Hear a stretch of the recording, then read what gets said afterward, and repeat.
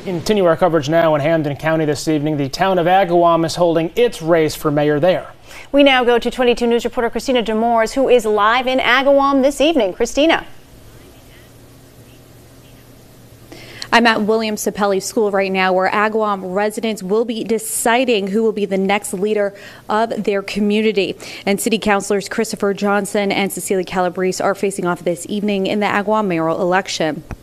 Chris Johnson is a lifelong resident of Agawam, a practicing attorney and a partner at a law firm. Johnson was Agawam's first mayor, previously serving as chair of the Agawam School Committee and as city solicitor.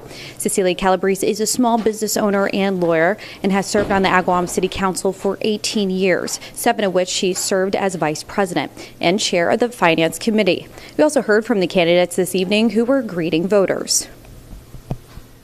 I have the, the leadership and experience necessary to bring Agawam into the future. I have the fresh voice, the fresh ideas that the people in Agawam are looking for.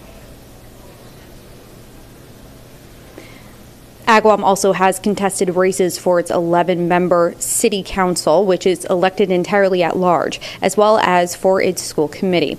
There is also a ballot question asking voters whether to move the municipal preliminary election from its current timing, which is four weeks prior to the general election, to eight weeks prior to the general election. And polls will close here in Agawam at 8 p.m. Working for you in Agawam, Christina Demores, 22 News.